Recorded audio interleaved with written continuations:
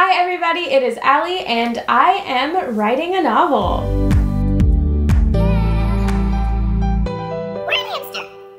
If you guys follow me on Twitter or have seen some of my other videos, you probably already know that I am writing a young adult fantasy novel. I have been working on it since before I started this YouTube channel. It's kind of a long standing work in progress. And if you have seen my work in progress tag video, I go into a little bit of detail about what the story is about. And if you have seen my blog post that I made based off of that work in progress tag, you know a whole bunch more. So I will leave both of the link both of those linked below. These videos are not going to be for me to spoil my entire story for you. the whole purpose of these videos is more for me to document my writing experience for you to hopefully share your writing experiences with me. We can commiserate on how difficult it is to meet deadlines and all of that fun stuff. So that's what I'm going to talk about for the most part today. Because I am so new and fresh into the drafting process with this particular book, I haven't decided yet how I want to set goals for myself, whether or not I want to do a chapter goal or a word count goal or a quarterly goal. I'm not really sure yet. I'm open to suggestions. So if any of you guys have found a way that works really well for you, please leave it in the comments, send me a message on Twitter, anything. Just let me know. I am 100% open to ideas in terms of setting goals for myself. I definitely need some kind of deadline, and yet I have not decided what kind of deadline I'm going to make for myself yet. Thing is, until very recently, I was firmly in the planning and outlining stage. Like I said before, this is a young adult fantasy novel, and not only is it just a fantasy which already requires world building, but it is a fantasy novel where politics and religion and geography even play a pretty big part in the plot. So I needed to spend a lot of time, and did spend a lot of time, on coming up with the different aspects of the world and how they altered the society of my characters, altered the places that they're living in, and then I needed to also spend time planning out how my character, my main character, and the other members of the cast would fit into that world and how they would directly change and alter that world in the course of the story. I am drafting the first quarter of the book because I have just exhausted all possible outlining strategies for that first quarter, and yet at the same time, I'm still doing more extensive planning for the middle and last quarter of my book.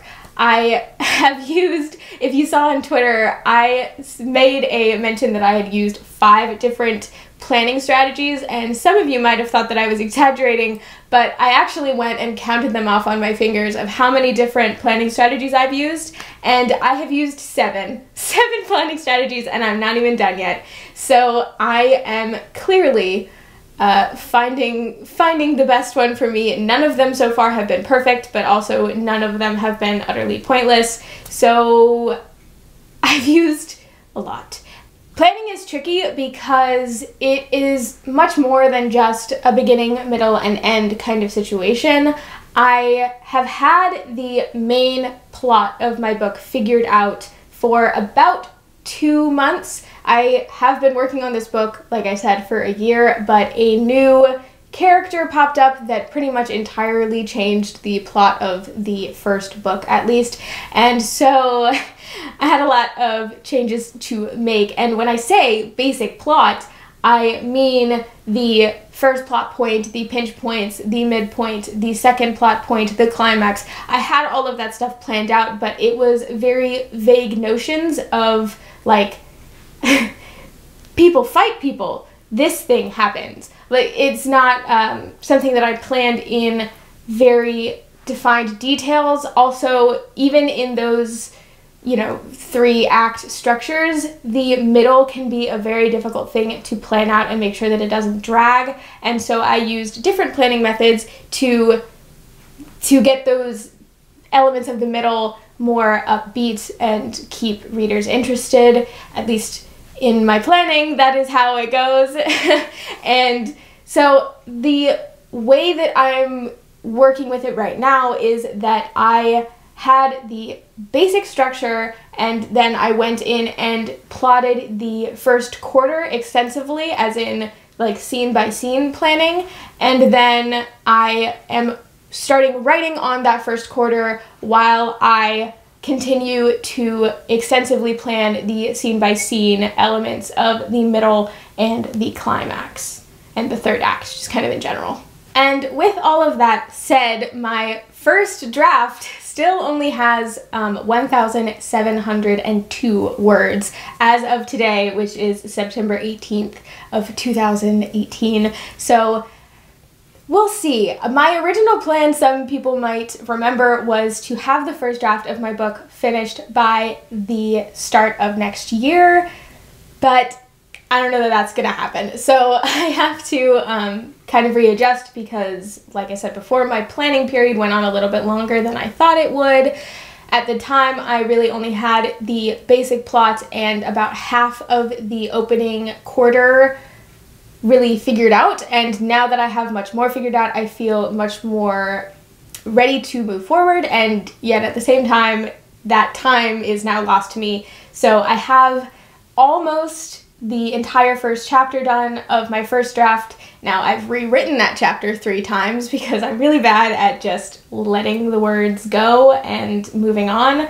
I always go back and reread and kind of self edit myself, but that's where I'm at right now. It's not very far, I know, but it is it is 1700 words that is the result of a year of planning and I already feel more proud of it because I know exactly who this character is. I know exactly where they're going. I know exactly what's happening around them, even the things that they don't know. And it just makes it a lot more exciting to me that I took the time to plan all of that stuff ahead of time. And I'm really excited to keep working and really excited to get even further into these characters because after spending a year planning things out purely in a storytelling mindset of what is the technical best way to keep this going forward, to keep readers engaged, to keep people wanting to read. And then I get to actually sink into the characters and sink into the story and really get into their mindset in a way that you can't really do when you're just looking at them as characters moving around on a chessboard. And it's so exciting and it makes the story feel much more rich to me. I hope it makes the story feel much more rich to you when and if you finally are able to read it. And that is it for me for this video. But thank you guys so much for watching. It is amazing to me that you guys are interested in hearing about what I'm writing about. It means the world to me. Thank you all so much for your support. I love each and every one of you so dearly, and I will see you in the next video.